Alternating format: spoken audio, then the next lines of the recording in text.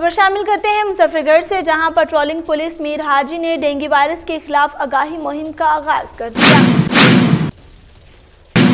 तफसलात के मुताबिक SP patrolling Dera Ghazi Khan region Chaudhry Muhammad Sharif की हदायत पर incharge patrolling post Mir Haji Abdullah Sadiq की निगरानी में गश्त ऑफिसर गुलाम मुस्तफ़ा खान ने पोस्ट के बीट एरिया में अवामनास को डेंगू वायरस से बचने के लिए गाही लेक्चर दिए। इस मौका पर गश्त ऑफिसर गुलाम मुस्तफ़ा खान ने लोगों से गुफ्तगु करते हुए कहा कि डेंगू बुखार से बचाव के लिए एहतियाती तदाबीर अख्तियार करना ही इस मोहलिक मर्ज के फैलाव को रोक सकता है कि डेंगू मच्छर की अफजाइश ना हो। इस सिलसिले में घरों, दफातर और गिरदनवाह की सफ़ाई, बारिश के पानी के निकास को यकीनी बनाना, घरों में रखे गए गमलों, बर्तन और गाठ बाढ़ में पानी जमा ना होने देना, जबकि मच्छर के काटने से बचने के लिए मच्छर बगाव लोशन का इस्तेमाल किया जाए। हम तो बाहसीत माशरा इस मूजी मर्ज के फैलाव को रोक सकते हैं। किसी भी मुमकिन डेंगू वायरस से मुतासा फ़र्द को फ़ौर महकमा सेहत, हुकूमत पंजाब के अस्पताल में रबता करके फौरी और बेहतरीन इलाज और खदमात से